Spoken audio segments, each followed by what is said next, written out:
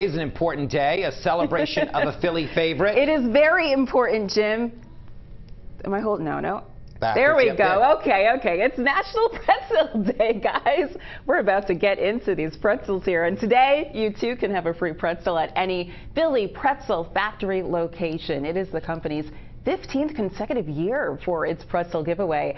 And they're expecting to give out more than 150,000 pretzels today. So a whole lot of pretzels. That's a lot of soft pretzels. And here's a quick uh, look at the numbers. To make the hand-twisted treats, they use more than 15 million pounds of flour per year.